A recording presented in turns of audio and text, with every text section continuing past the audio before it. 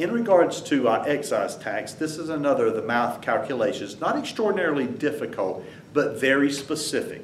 When you're calculating excise tax, I want you to understand that it is a state tax, in other words, the state of North Carolina, a state tax on the conveyance of real property, on the sale of real property. It's a sales tax.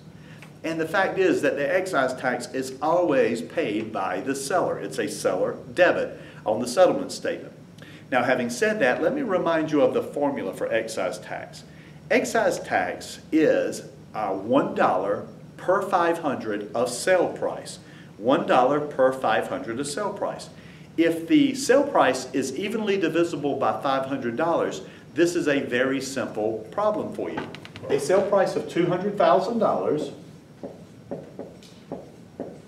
you would simply divide 200,000 by 500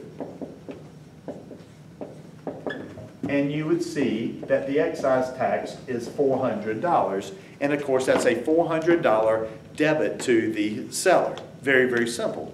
Well, of course, nothing can be completely simple. So the state of North Carolina does this. Technically, excise tax are charged at $1 per 500 of sale price or any portion thereof. Now, what we mean by any portion thereof is if it's not evenly divisible by 500, what we're going to have to do is we're going to have to round up. You always round up when it comes to uh, excise tax. So let me give you a quick example of what I'm talking about. What if the sale price were $249,600? Now, looking at that root right there, you see, of course, that it's not evenly divisible by 500. But what I like to do is just simply take that number, divide it by 500, and you'll see a number in your calculator that looks roughly like this, $499.2. Well, here's something you need to know. Excise tax, the answer is never going to be point anything.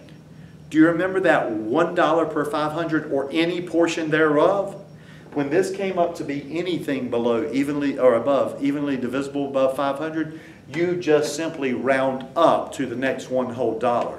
So 499.2 becomes $500. $500. So excise tax, $500, debit seller, don't forget the rule, round up to the next one whole dollar. This will be a big deal when we start doing settlement statements, and we will belabor this point at that particular point in time. Excise tax, I promise you, will never be a certain amount of dollars in some sense, always round up.